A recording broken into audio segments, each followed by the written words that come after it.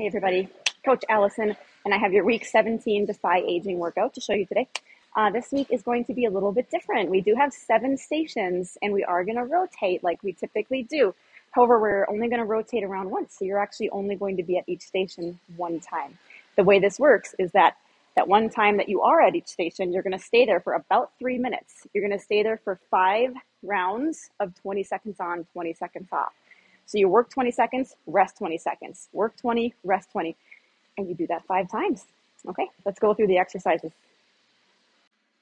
Okay, exercise one is a wall sit with a medicine ball forward press. So the wall sit is really going to target your legs, um, of course, and the, the, the forward press with the medicine ball is a lot of chest and a lot of shoulder. Okay, so you'll need a wall. Your coach will have a designated spot for, for doing this. Um, so step your feet out, and as you step your feet out, you're to sink down like you're sitting in an imaginary chair, pressing your back against the wall. Make sure your whole back is against the wall and you're not leaning forward. Go as low as you're able. Um, again, you're to be holding this for 20 seconds, so try to challenge yourself um, how low you're going. So, one important thing, let me lower the camera a little bit so you can see this. One important thing is that you want to make sure your knees don't ever go farther forward than your toes. By that I mean watch. Right now I have my feet so close to the wall. Now look where my knees are. They're coming up over my toes. It's a lot of strain on your knees. So step your feet out farther. Now my knees are kind of right on top of my ankles. So this is pretty low. My legs are about parallel to the floor. That's going to be the hardest way to do it. If that's too intense, just scoot up a little bit. And now it's going to take that intensity down a notch. So find your level. Once you're there, got the medicine ball in your hands, and we're keeping the upper back pressed against the wall. We're not coming forward, and we're to press the ball forward, pull it back. Reps like this. Try to get a full extension. If you can't get a full extension, that means the ball that you have is a little too heavy. So for the next round, because again, you're to be here for five rounds, take the weight down to a lighter weight.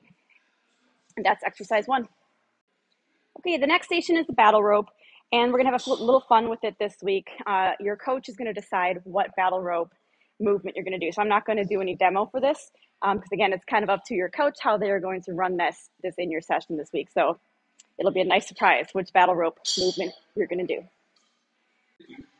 Okay, the next exercise is a seated band back row, and you're going to be sitting on the floor. Definitely use a mat here if you wish. The band is hooked up to a rack in front of me here.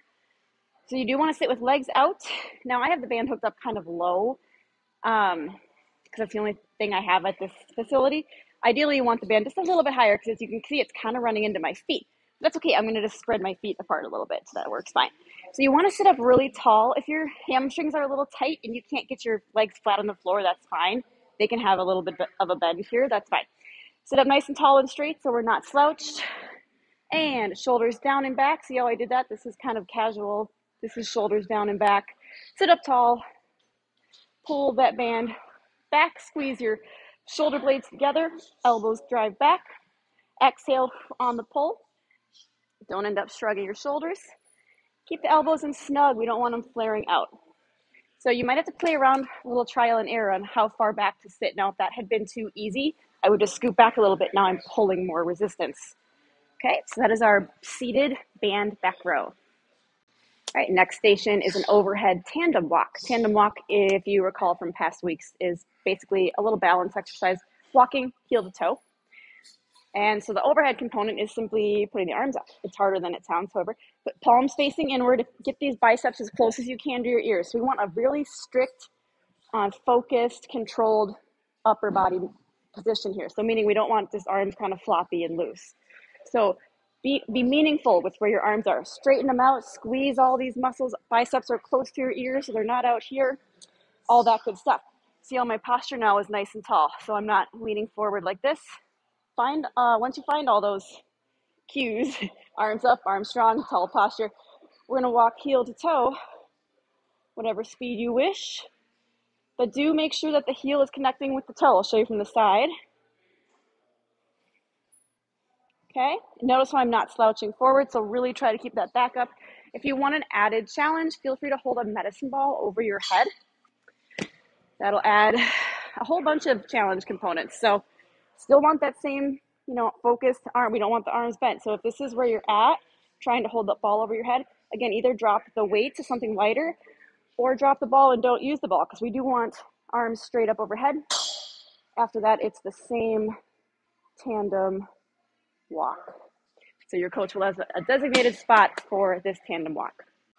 Okay, next up is walking lunges. We've had these quite a bit over the years. So those of you who are, are veterans will know this. Okay, so your coach will have a space for this because we're going to be moving forward. Um, so big step, bend both knees, down, up. As you step up, you're also stepping together. Other side, down, up, together. Keep that going. Couple things to keep in mind with lunges. Make sure you're allowing the back foot to roll up onto the toes. See how I'm on my toe? That's going to allow me to bend that knee. If you try to force the knee, or sorry, the heel to stay down, you can't, you physically can't bend your knee because we don't want it to end up with a straight leg back here. That's not a lunge. That's a great stretch, but it's not a lunge. Um, lunge is bending both knees. Get as low as you're able, whatever that depth might be. If this is where you're at, that is beautiful. You can work towards getting lower and lower the stronger and stronger you get. Another thing to keep in mind with lunges, it is a lot of balance. So um, hopefully your coach can set this up near a wall or a rack where you can kind of keep your hand on if you need to. Also want to make sure that you're not leaning forward like that. I did it a little excessively to make the point, but um, so I'll show you a couple with a forward lean. That's what we want to avoid. Instead, you're keeping your back up very tall, very straight. Okay, just like that wall sit from earlier. Keep your back up tall and straight. Oh, yes, if there's any irritation with your knees, lunges are a little knee intensive. We're to take this to a squat. So instead of doing walking lunges when you're at the station, you'll do a body weight squat, sinking those hips down and back, sitting in that imaginary chair, body weight in your heels. Next one is a kettlebell around the world. This one takes a little getting used to. So you've got one kettlebell around the world is kind of around your body. Sounds weird. But yeah, so it's a little harder than I'm making it look, probably. I've done this five billion times in my lifetime, right? Um, so yeah, the a couple goals here. We're trying to keep the body uh, strong and solid. So I'm trying not to waver and I'm not like kind of twisting all over the place and leaning. And so I'm keeping my body very, notice I'm not moving too much, right? Another thing to keep in mind, keep your shoulders kind of engaged. So the shoulders aren't all over the place like this. I'm keeping my shoulders very squared, kind of shoulders down and back.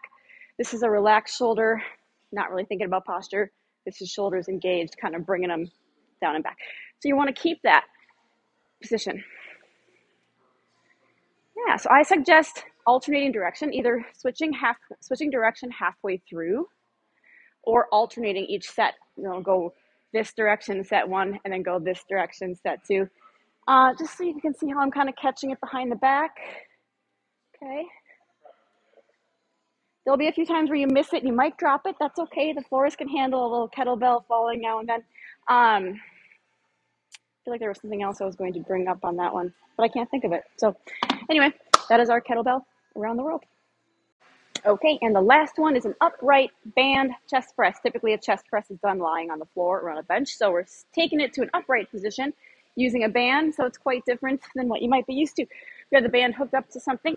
Ideally, you want the band a little bit higher than your height. So, of course, everyone's different heights, right? But the same setting, like it could even be up here, and that would be fine. One setting should work for most of our participants. Um, we just don't want it lower than your shoulders. So, something higher than your shoulders. Okay. You're going to step forward with one leg, whatever leg feels more comfortable. So, that doesn't matter. For me, I feel more natural with my left foot forward. Because you see, you want the bands coming over your, on top of your shoulders, so you can see how if the, the band was hooked up low, it, it would be really uncomfortable. Okay, so shoulders down and back. So again, this is kind of relaxed shoulders. This is engaged down and back shoulders, chest out. You see how I did kind of a little chest pop. We press forward, release back. So as you press forward, I'm going to move the camera a little more in front of me. As you press forward, you're also bringing them slightly inward together, just a little bit. Okay. So here my hands are, elbows out to the side. And as I press forward, I'm kind of, shoot, there we go. Kind of bringing them in together. Don't overthink it. You don't have to do like a, don't make it like choppy like this. It should all be one smooth movement. Exhale on the press. And that is our upright band chest press.